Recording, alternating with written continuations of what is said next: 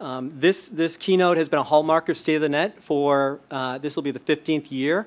And for the past 14 years, uh, Congressman Bob Goodlatte has, um, has done this fireside chat, and we are thrilled to have uh, Congressman Jim Langevin um, doing the fireside chat today. So I'm really thrilled. Um, just before I get going, um, some people, we, there is um, snow in the forecast for tonight. Um, it wouldn't be state of the net if we didn't have snow in the forecast.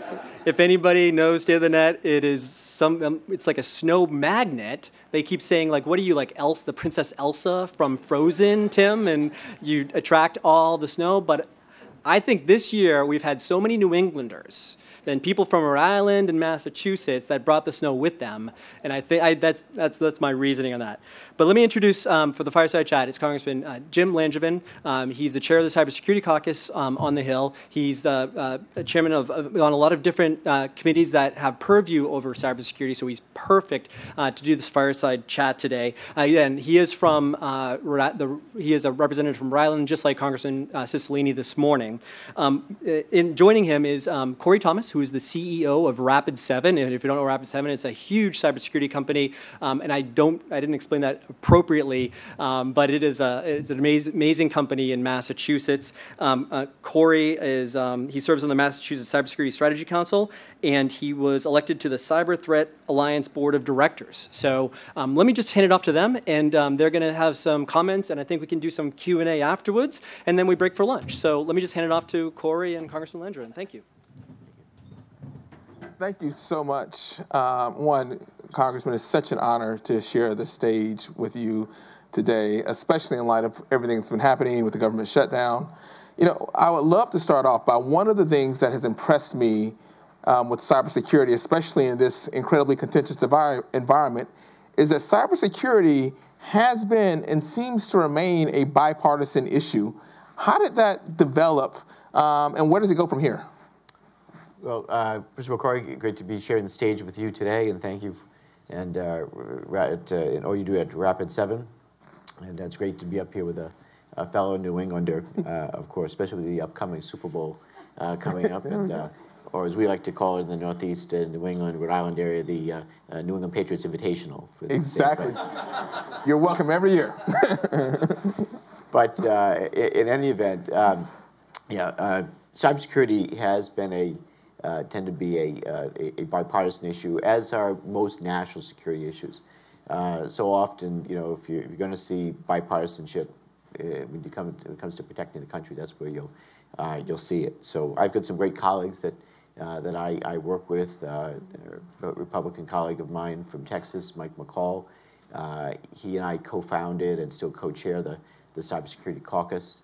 Uh, and, uh, and then also Elise Stefanik, uh, Congresswoman from New York.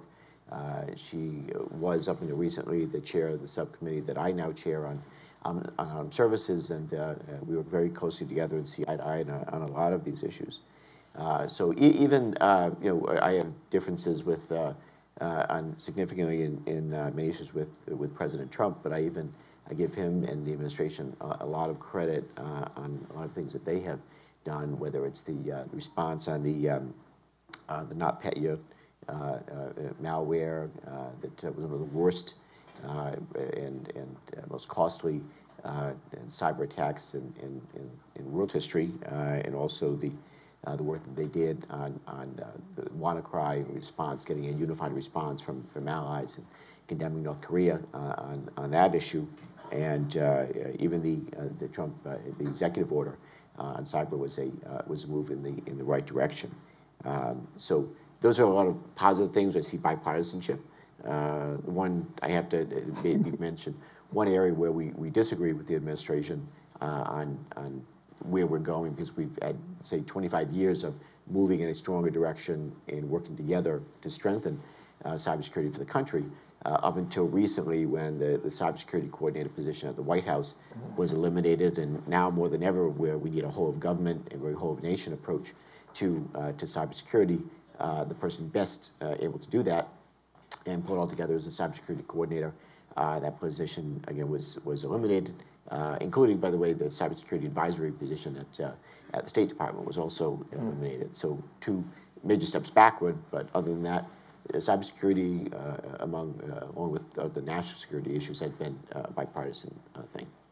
It, it's interesting that you mentioned the cybersecurity um, coordinator role and security becoming more national is because when I spend lots of time with our customers, one of the pieces of feedback that I hear is the fragmentation that, that they feel with so many state laws, um, so many different regulatory agencies, uh, and increasingly lots of national frameworks.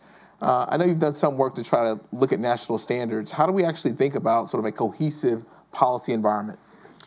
So one of the things that uh, uh, customers have to be most uh, worried about is, is when their personal private information uh, is, uh, is, is compromised, and uh, and then how quickly are they notified, and, how quickly can they respond, or what does the, the company do to help in the in the mitigation and the response?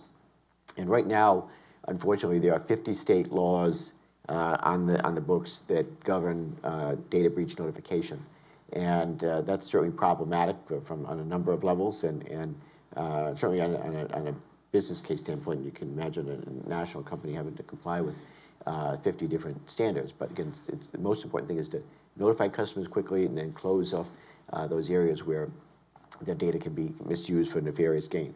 Uh, so what I believe is that we high time that we have a national standard. So a 30-day uh, data breach notification standard. I worked with uh, the Obama administration on on this uh, on uh, trying to establish that kind of a, of a law. Uh, we're going to be reintroducing the bill again Uh, this year, and uh, I hope that uh, that we can we can see it get through the the process.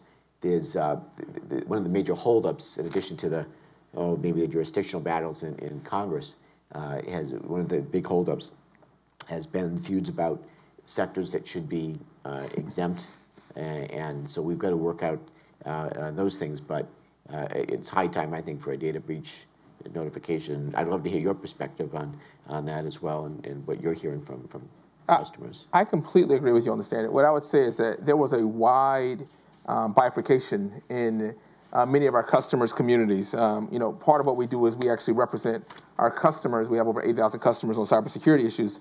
And there were some who were just like the weakest possible standards um, are the best, um, and they wanted exemptions and other things. The thing that I would actually point out is that you actually today have a growing consensus that a national framework um, is not just positive, but it's necessary. And a, a, big part of that, I think, comes from people are starting to see the pain of the state by state fragmentation that's there.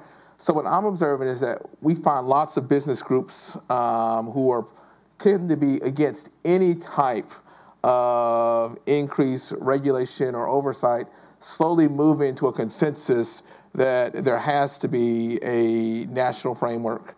Um, ideally, that supersedes state frameworks, because the whole goal is to reduce complexity. Uh, but you're seeing an increased consensus that that's a much better situation. So I hope that the data breach work is just the first in an overall national framework.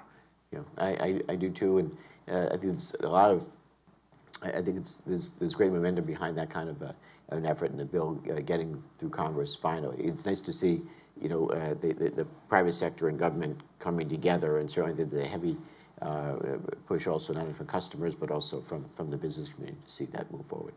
Yeah, no, I, I, I think it'll slowly evolve over time. I think, you know, I think just like you and Congress um, have disagreements over, although you overall agree that it needs to move forward. Mm-hmm. I think the business community is divided about sort of like what's the right level of standards. Um, what type of things should be encouraged versus not discouraged.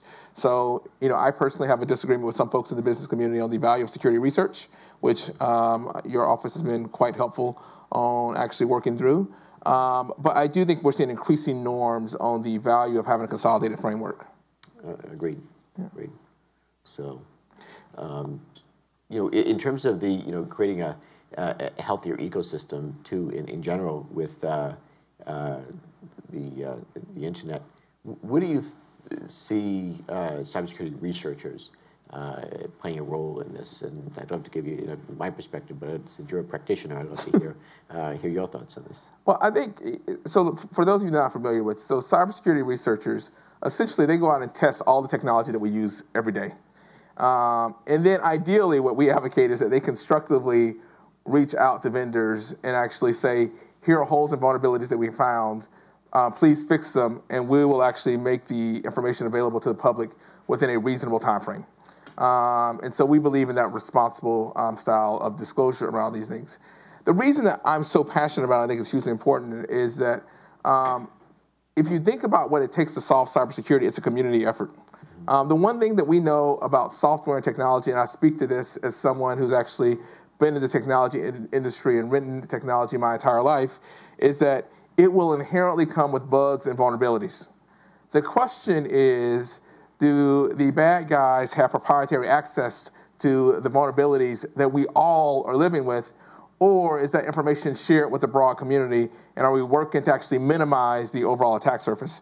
Uh, and so we've been working together with a increasing set of companies, technology companies, and industrial companies around the world to actually really evolve to this shared responsibility and this coordinated vulnerability disclosure model that actually makes it safe for cybersecurity researchers to do their work in the overall ecosystem. Yeah, and, and I think they, they play a, a vital role in, in helping to strengthen the ecosystem going forward. And I'm excited about the interactions that, that I've had uh, with uh, the cybersecurity researcher community. Uh, sometimes they call them the breakers uh, or the hackers, and they've been kind of given a bad rap over the over the years. Um, what was your, by the way, what was your experience at DEF CON? I think you just yeah. recently went and spent some time with that research community. I'm i did. I it was uh, was thrilled to be and really honored to to be the first uh, sitting member of Congress to go to DEF CON along with my colleague uh, Will Hurd from uh, Texas. Again, the bipartisan visit, and and, uh, and, and he and I had a chance to go and, and tour the the various uh, hacker villages and the different things that they were they were working on. But I was very impressed with how uh, passionate about uh, they are about strengthening the uh, the ecosystem overall. You know, we often create we, celebrate the, uh, uh, the, the creators of the internet, uh, Vint Cerf and Tim Berners Lee, and and they did a great thing in, in, in, creating this thing that the, we now know as the as the internet. but a lot of people in the cybersecurity research community uh, want to understand how things work, how to make it better, and so we rely on these breakers or the hackers, if you will, uh, to point out the vulnerabilities and, and find out, you know, work together to, uh, uh, to close the vulnerabilities and just get the internet to work really as it was intended. One of the more exciting things that I saw uh, happen in, in, the last several years is the, um, uh, the Hack the Pentagon program that, mm. that came out. So Ash Carter, then the Secretary of Defense, uh, was a, was a really the facilitator and the, and the driver in this, in this effort. And because of the work that, uh, that, you know, that, that, he allowed to happen and, and it went, it went forward, you saw a, significant number of, of vulnerabilities in, uh, in, in DOCD systems identified and those vulnerabilities closed in a very short amount of time. So uh, creating more of these bug bounty or uh, hack the Pentagon type programs for government is, uh, is important. But again, we, we have to make it uh, conducive for these white hat, white hat hackers to come and be part of the process to make the internet uh, stronger. And I know we're looking at, I know there's several different laws um, that I think your office has been working on and others have been working on um, to improve that overall thing. I would say I think it becomes more essential and more important today. Um, the way I think about it is more and more of our society is based on technology. So if you think about the um, the percentage of our overall environment that's based on technology, it continues to go up at an astounding rate. Um, and that does introduce systematic risk into the overall ecosystem. And so while I'm a technologist, I believe deeply in technologists, when you look at everything from the amount of applications to IoT to our supply chain, I have grave concerns about sort of um, ensuring that we stay ahead of the game there. Yeah. Yeah, that's one of those things that kind of that, that, that keeps me up late late at night is um, supply chain uh, security. It's, it's multiple layers, right? Um, it, First of all, uh, one of the things that, that I do worry about uh, is, is securing the, uh, the supply chain from the, the, the, the, large major defense contractors all the way down through the, through the subcontractors and the people that they're doing business with, right? Because you're only strong, again, as your, as your weakest, weakest link. You think some of the, the, the highest uh, profile hacks that have, that have occurred, uh, they didn't come through the, the, the, the, the front doors of their major company cyber defenses, uh, with a brute force attack. It was more uh, of a uh, they get into a say a, a third party contractor and they you know a, a, company and they then they move sideways. And so we need to be concerned about that uh, on on the, the DoD side and the the, uh, the major defense contractor system as well. And then you have to worry about also um, the uh, systems that are non a DoD system. So, you know, the uh, universities, for example, and the, the research that, that happens uh, initially at the unclassified level and then it soon is, is going to be uh, classified and, and, and uh, that uh, we have had terabytes of very sensitive research data stolen, hacked, exfiltrated, and that's something else that, that, that really keeps me up late at night. And then also uh, weapon system uh, security is another area I think that we need to uh, worry about. And that goes back into the, the, the supply chain, making sure that uh, all these systems are secure and, and also oversees uh, the, the components that are, that are produced for sensitive uh, weapon systems. So yeah, supply chain security is going to be a very big focus of what my subcommittee continues to highlight and do a deep dive on. But you know, how about your experience with supply chain and your thoughts would be? It, it, it's interesting hearing it from the federal government side because you have a different, very big issue.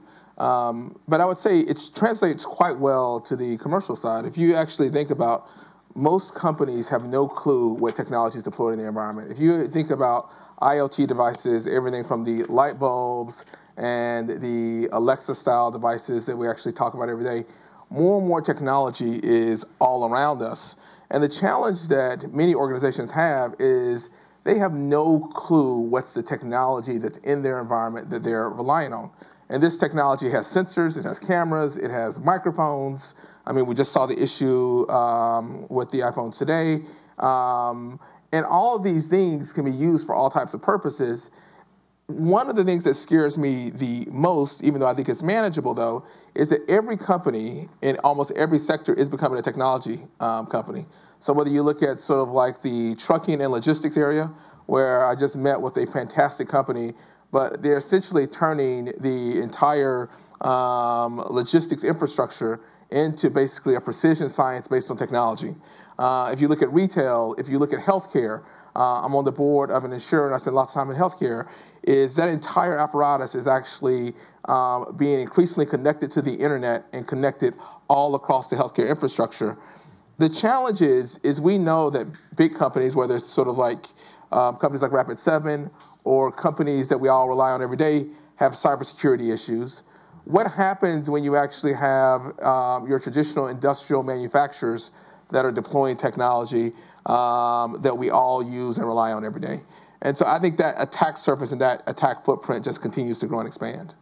Yeah, without a doubt. You know, the um, you, automated systems have brought great efficiencies and and uh, and, and uh, help companies to to operate at, at, a higher level. But with those efficiencies have come at, at, a at a cost as well because it, it, it does broaden your your attack surface and um, and so uh, the, the, things we can do to, to narrow that attack surface are essential. And uh, going back to whether it's practicing good uh, cyber hygiene, uh, which is uh, which is important uh, when you're updating your security patches or having strong passwords using two-factor authentication, etc. Again, all those little things, very done to the, the employee level, will um, will narrow that that attack surface.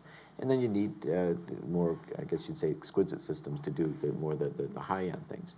Now, of course, you know, part of all this, uh, in, in, addition to cyber education for, for employees and having the right uh, technology uh, in place to, uh, to mitigate cyber threats, is also the, the issue of the, the, the, the cybersecurity workforce. And, and uh, I, I, it's been my experience we're having significant shortages in, in this field, and and uh, I, there's things that I can talk about that that I that I support that trying to uh, get more people going to the cybersecurity uh, field. But what's your experience been from a uh, from a practitioner standpoint?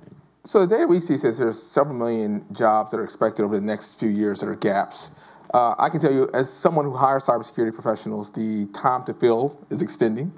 Um, you know, good for the cybersecurity workforce that the price that you pay go up.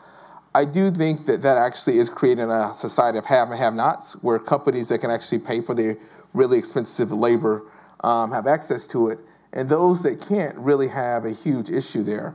And so I'm really, I, I think government plays a huge role, and I'm interested in what you're doing to actually help incentivize sort of a larger cybersecurity workforce.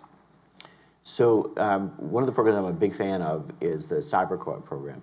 Uh, it's a, a, a, partnership between uh, uh, NSF and, and the and uh, Department of Homeland Security and incentivizes young people uh, in college to go into the cybersecurity uh, field.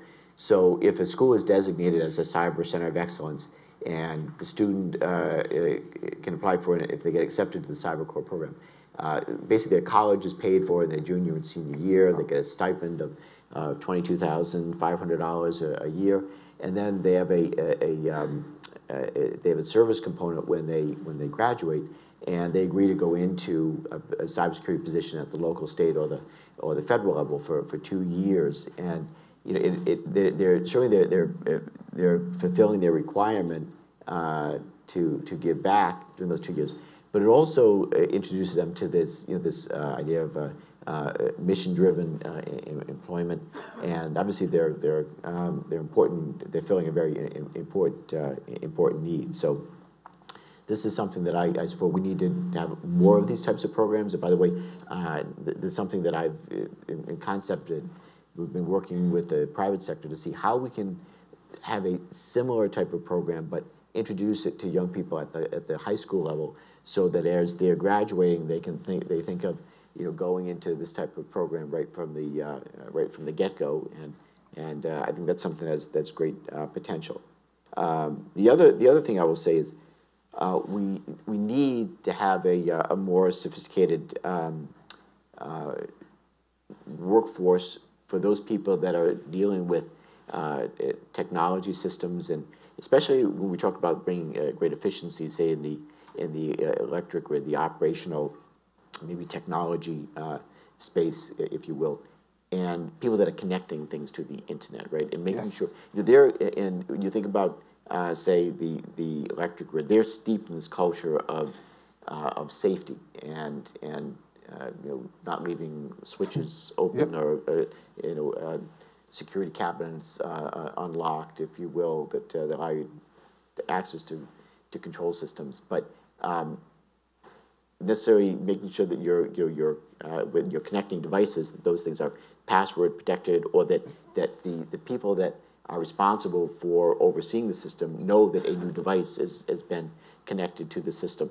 Uh, there's so many places they don't even know what's connected to their network, and yet these things are uh, uh either uh, not password protected or they have the default password of password, and, and yes. so it's easy to get into. But you know, I'd love to hear your thoughts on that. No, we still see that today, unfortunately, is that um, poor passwords are a plague that will never go away no matter how much noise you put in.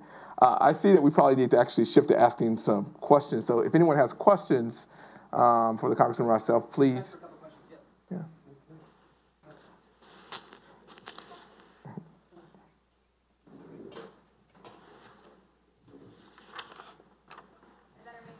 Yeah, it's a dance to get there. Thank you for being here, Congressman. Um, my question is, so you've noted the jurisdictional issues that have sometimes hamstrung these efforts. What's your plan for tackling that with the reintroduction of the 30-day data breach notification law? Uh, yeah, I'll stop there. So um, I've already had a, a conversation with uh, with Speaker Pelosi about the, the, the, jurisdictional issues. So right now, going back to my frustration about uh, the, the, multiple jurisdiction cyber, there's some 80 different committees and subcommittees that claim some type of jurisdiction over, over cybersecurity. And hence, it's the, the reason why we've been slow to see a, a, a more bills make its way through Congress that would, would strengthen, strengthen I believe, our, our cybersecurity posture. Uh, it took a long time, several years, for the, the CISA legislation to get through Congress. That's the, the information sharing legislation uh, that, uh, that, that help to bring down the barriers for government sharing threat data with the private sector and private sector sharing threat data back with the, uh, uh with the government. But getting you know, more specifically, again, to your question on the 30-day uh, law, I, I, there's, there's a uh, committee looking at um, um, congressional reform right now and, and how we might streamline Congress. This is certainly one of those things. And I've made the, the point to the, to the speaker that, look, we as a Congress are going to have to move with greater agility to respond to the cybersecurity threats that we face going forward. And we can't do it under the current construct. And so uh, I'm hoping that as we look at uh, some form of, of, oversight reform, that that's going to be a part of, of, of, streamlining that. And I've said to her directly, look, it's like the, uh, the uh, when we had to move this massive uh, bill through the Congress on on health care reform, and and because uh, that you know wasn't a, a, perfect process or a perfect bill that came out, but you know, it was the, the speaker at the time who stepped in and said, this is how we're going to do it. These committees are going to have primary jurisdiction. You're going to have a certain amount of time to you know, mark up the bill, move its way through, but it is going to happen. And that's the type of thing that needs to happen with cybersecurity. Other questions? Mark MacCarthy with uh, SIIA in Georgetown. Uh, I want to ask a question about the international dimension of, of cybersecurity.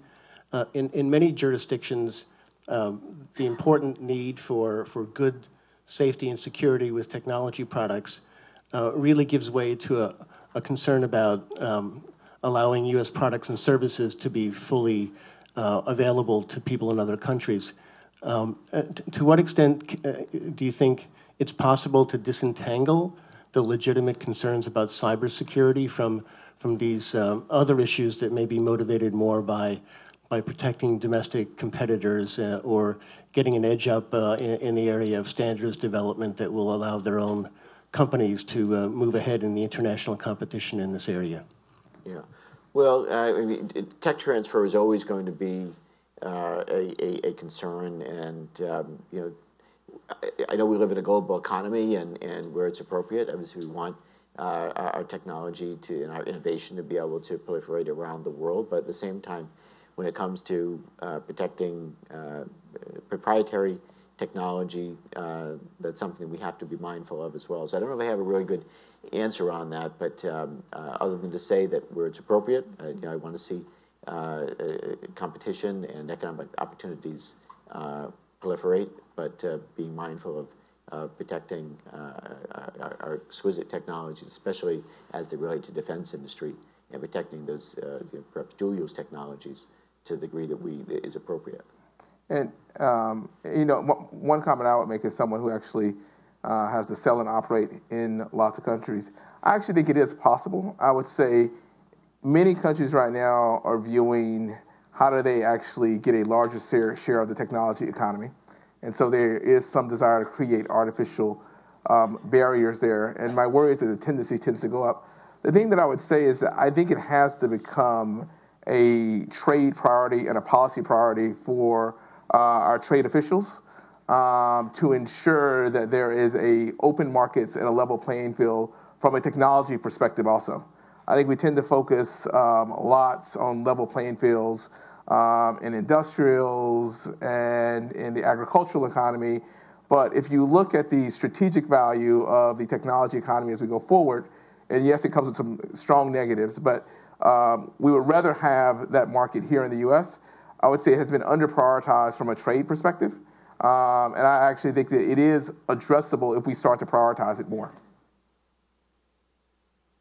Hi, this, I think this is the last question according to Tim, so I always take my, my cue from Tim. Um, Rick Lane, the CEO of Iggy Ventures. I've been working with a coalition of security experts who have been very concerned about the impact of the GDPR on the WHOIS database and the openness and being able to do um, searches and research um, as well as stopping phishing, malware, and others. Um, have you been made aware of the impact of the GDPR on the WHOIS and its impact on our national cybersecurity efforts?